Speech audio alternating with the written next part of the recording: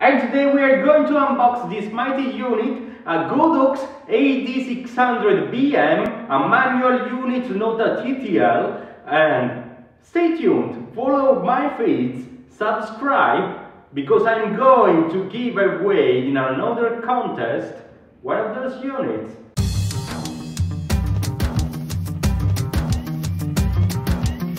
Hi, I'm Fabio Napoli, photographer, and this beauty is a Godox AD600BM.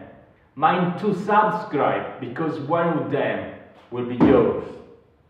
This is a 600 watts unit with a maximum recycle time of 2.5 seconds. 500 uh, full power output, which means you can fire up 500 uh, flashes out of each battery and that's got 9 steps of power output uh, between uh, 1 on uh, 256 to 1 on 1. Inside there is a built-in wireless that is powered by Godox. So every Godox unit uh, you may have and a Godox trigger that you may have function with this unit uh, recently has got an update. Now works with Canon, Sony and Nikon and with the update at the version 1.7 will work with other brands such as Olympus, uh, Samsung and Fuji.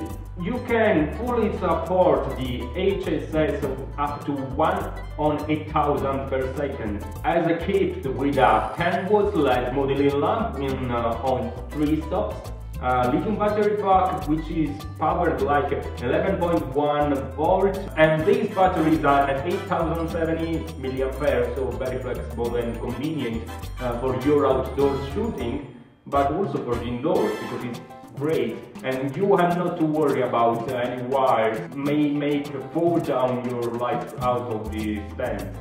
And this unit is very convenient as well because it's got a Bowens mount which is very very popular and because Bowens mounts are standard you have not to worry about uh, what type of uh, reflector, uh, what type of softbox uh, uh, you can use on it because there is plenty on Amazon, I link you some below. You can also watch my videos about them.